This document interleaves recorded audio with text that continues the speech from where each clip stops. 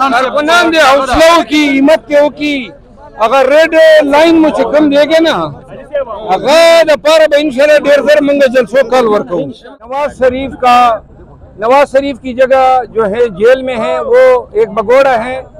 मुजरिम सजा याफ्ता मुजरिम है दो केसेस में सजा हुआ है। और अब वो अगर पाकिस्तान आता है, वो पुलिस, नेब या कोई इदारा उसके साथ नेकी कर ही नहीं सकता है। क्योंकि वो पाकिस्तान तहरीक इंसाफ ने मुल्क सूबा भर में अजला की सतह पर डिप्टी कमिश्नर को दरखास्तें दी हैं पुरमन कन्वेंशन के इनका के लिए।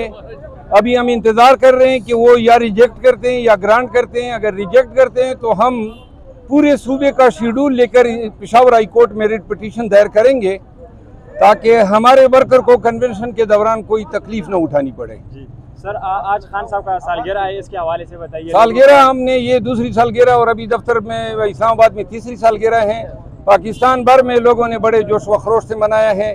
और आज सालगिरह की हमने कहा था कि जो जो केक काटे उस केक की वीडियो जो है सोशल मीडिया पे शेयर करें। आप सोशल मीडिया पे जाएँ और देखें करोड़ों पाकिस्तानियों ने ये वीडियो शेयर की है।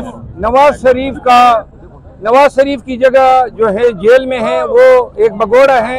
मुजरिम। सजा याफ्ता मुजरिम है, दो केसेस में सजा हुआ है और अब वो अगर पाकिस्तान आता है, वो पुलिस नेब या कोई अदारा उसके साथ नेकी कर ही नहीं सकता है, क्योंकि वो अदालतों को मतलूब है।